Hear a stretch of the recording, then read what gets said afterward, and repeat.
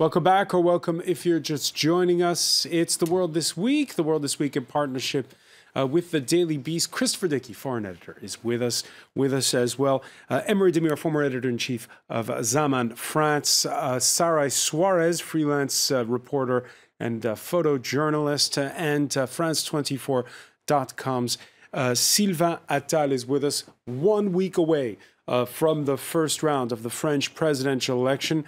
And, uh, well, everyone's an insurgent. The latest one to surge closer to is, is perhaps closer to Jeremy Corbyn than Marine Le Pen or Donald Trump. We're talking about the communist backed Jean Luc Mélenchon. He's uh, putting the far right leader in the same basket as Thatcherite conservative Francois Fillon and centrist Emmanuel Macron. Uh, for instance, at a rally in Lille, uh, talking about how when Macron was Francois Hollande's economy minister and when he strongly backed the El Khomri labor reform law. If you elect one of those three, you'll be spitting blood. Look what they've set as their agenda already the war against the poor. After that, a widespread Uberization is in their interest. You've already had a taste of that with the El Khomri law, which we will put an end to. Sylvain Attal, how do you explain the surge of Jean-Luc Mélenchon? Yeah. Well, honestly, it's it's a little bit more complicated than saying is communist back. You know, it's uh, a, it's it's really something new and something else. It's, it has much more to do with, for example, what you have seen in Greece with Syriza, for example. And not only that, for example, have, I don't know if you've noticed that this week, for example, Jean-Marie Le Pen uh, went out to say that uh, he had great admiration for the style of Jean-Luc Mélenchon, and he said he, he said I was the first one who went like that, you know, walking on the stage, you know, talking without notes, etc., and doing these kind of effects. There's some. There's. He's a populist, of course, just like Jean-Marie Le Pen was. Uh, another, of course, another kind of Not from the same side of the not political for the, for the same side, even though they have, you know, some point of convergency between them on Europe, for example, on how we should act on uh, towards Brussels, on the treaties, etc. And the other thing is that it's it's spectacular, really, uh, what he has done on the few last weeks. He was excellent on the debate, for example. He was, you know, really, you know. Uh, uh, really excellent. He was the real winner of the debate because he had this, you know, this the, the la faconde. I don't know how you would, you would say that in English. You know, this kind of, you know, easy spoken, out of the system, and uh, people are, as you said, for example, very much hesitating. They were they were looking, for example, people people from the left. They were looking at Hamon, for example. They gave him a The chance. socialist candidate. Yeah, they gave him a chance. Whose, whose know, numbers and- have gone south. yeah, but he hasn't done a very good campaign. And now that uh, I think the last week will be, you know, very decisive because it's it's going it's going to crystallize in the minds of uh, of- of- Crystallization is everything. Let's look at the latest poll numbers. It's a four way race with uh, Le Pen, Macron, Mélenchon, Fillon, all within uh, the margin of error. That's one poll. There, there are several others out, and they're all roughly uh, numbers like this. However, the voters, as Sylvain was saying, they're fickle. They haven't firmly made their mind up. One week to go, Le Monde compiled a tracking poll. That means that means that you cannot say anything with this poll. Yeah, it's all within the margin of error. Yeah, Exactly. absolutely. So everything can happen. Uh, it's like I think it's like Russian roulette with five bullets. What's going to happen? Le Monde compiled a tracking poll of only voters who were f- who said they were firmly committed, and the loyalty prize goes to wait for it. Marine Le Pen and François Fillon, the conservative candidate. Now, this isn't obviously how it's going to turn out uh, a week from Sunday, uh, but Sara Suarez, when you look at that, at that, and and you know the, the volatility of the electorate in this election, what are your thoughts? I must really say that I'm impressed because I never thought Mélenchon was going to get where he is.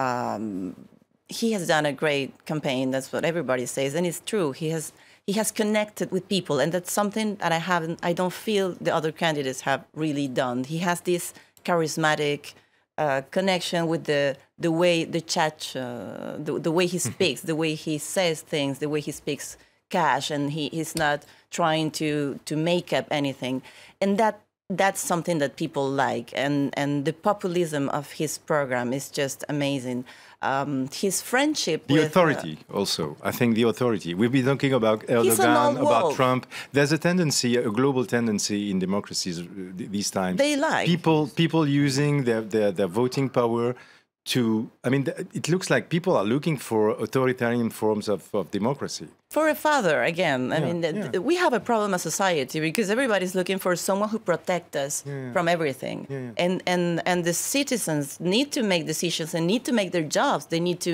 to to to really do what what's their job as citizens to exercise their duties uh, they have duties and they have responsibilities so and i i have the feeling people need to to do more of that.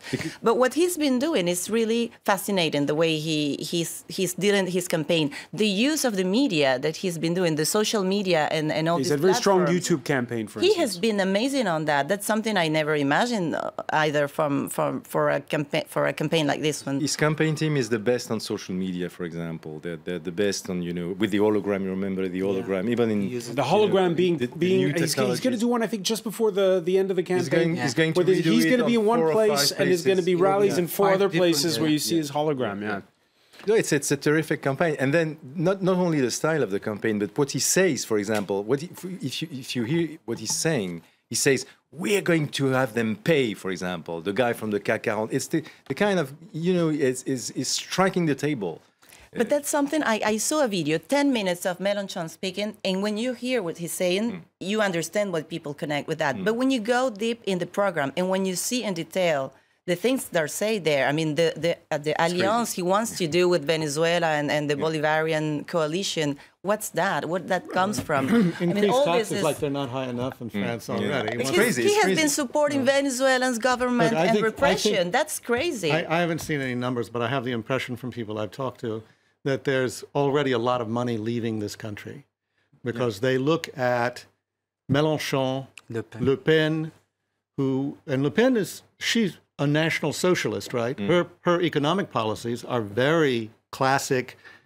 Uh, screw the taxpayer, uh, feed the poor, price controls, anything it takes. We'll take care of the poor. It's very much like Mélenchon's policies. In fact, there isn't a lot of difference between Mélenchon On and Le economic Pen. policy, not much. no. And Uh, on the hashtag uh, World This Week, voters on the right appear to have largely made up their minds. Rise of Mélenchon, weakness of the Socialist Party, and Hamon leave the possibility for a surprise on the left.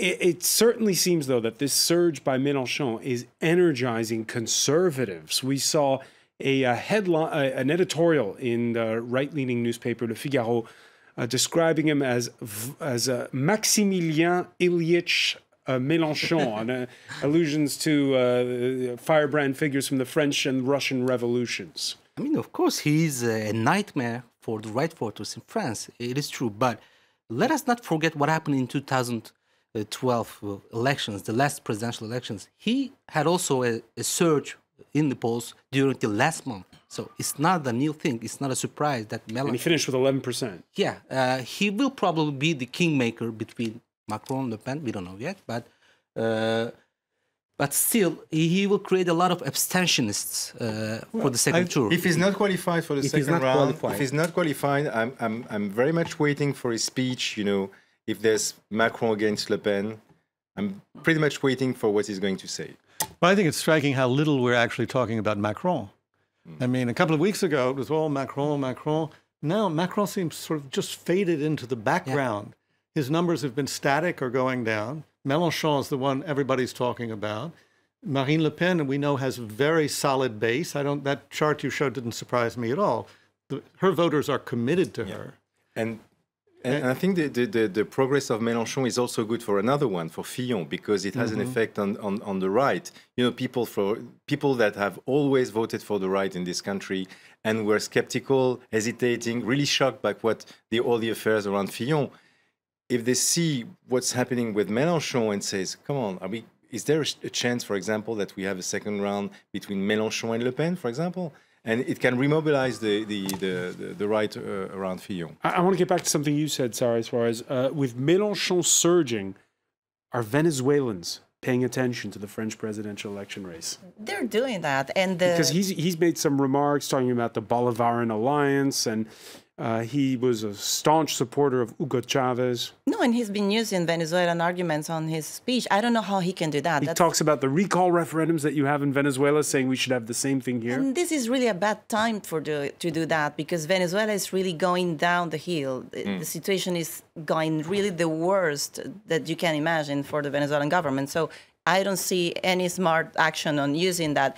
The problem is that the, the information that we have outside uh, about what's going on in Venezuela right now is very few. Now the international media and international community is giving some support, so the international media are talking about what's going on in Venezuela. But Mélenchon, you could you can even call him Hugo Mélenchon if you want. I mean, he's really getting a, a program that is a lot into into the movement, inspired of what Chavez wanted to do in the region. Venezuela And- without the sun and without oil. and the problem is that I think French people don't realize that a country can be destroyed. The economy of a country can be destroyed. Not because this is France, we're untouchable and everything is going to be good because just we're France. It doesn't work that way. You have a, the wrong people in the government and things can go very, very bad. All right, two weeks ago, uh, we were talking about Venezuela.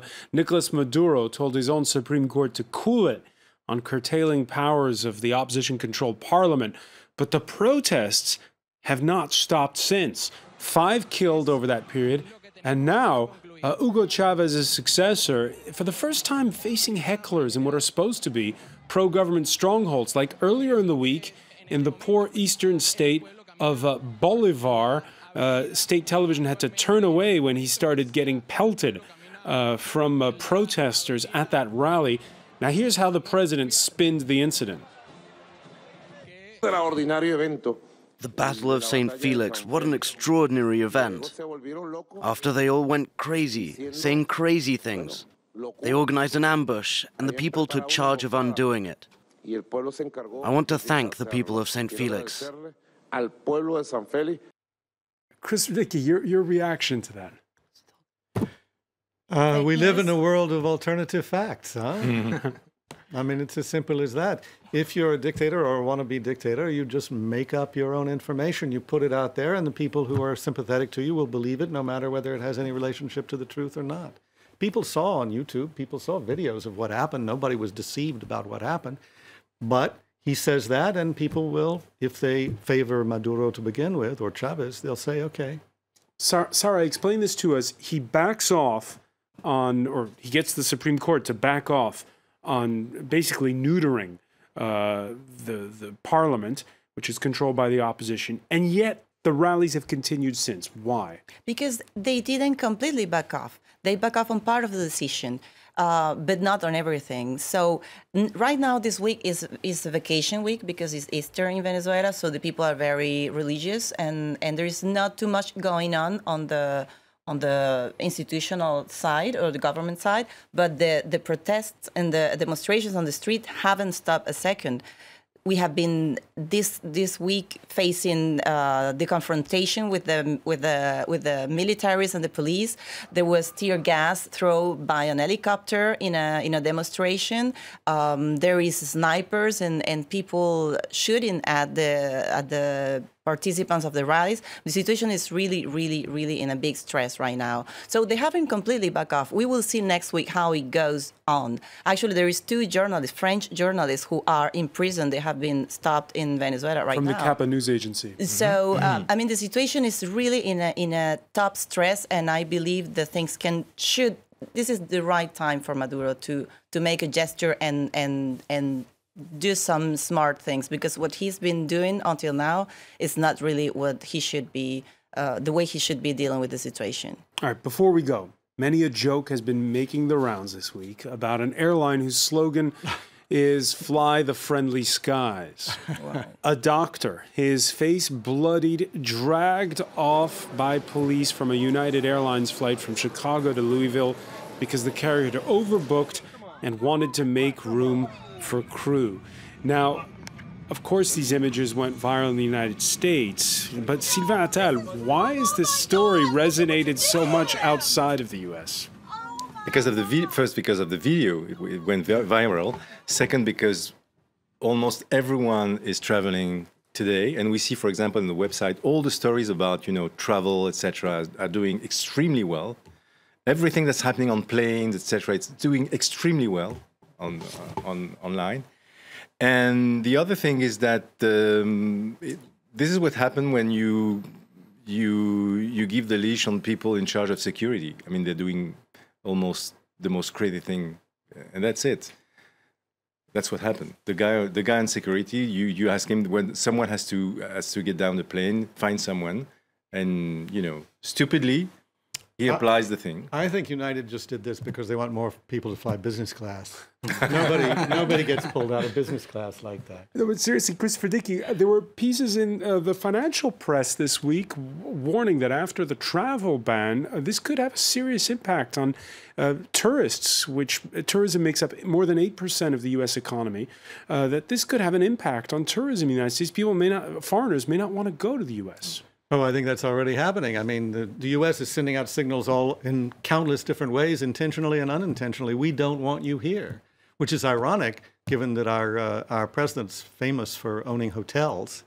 But that's what's happening. The message is: if you're Muslim, we don't want you here. If you're Mexican, we don't want you here.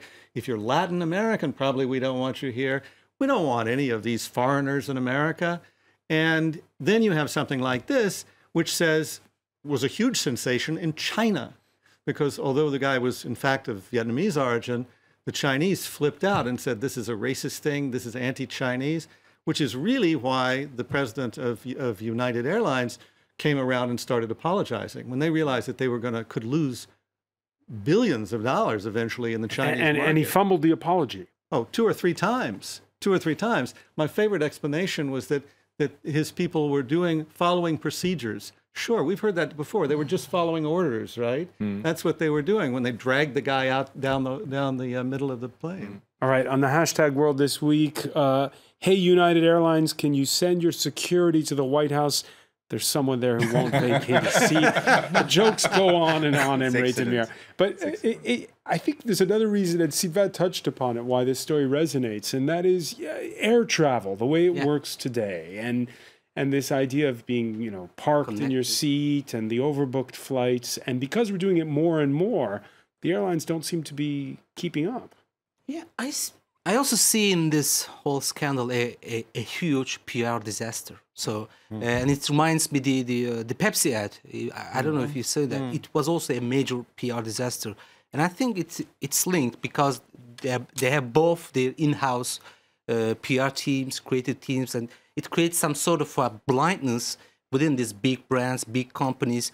Uh, the reaction from the United Airlines was incredibly stupid. That we have that's why we have all these uh, reactions. They could have managed it uh, much more rationally. Uh, and i think that it's a uh, it's a winning argument for the ad agencies. I see this before all of that a, a pr as a pr disaster Sarah Suarez? Well, I believe we have all been uh, submitted to the tyranny of, of the of the air company sometime. I mean, uh, books, uh, overbooked flights, waiting list, um, Canceled and flights, canceled yes. flights.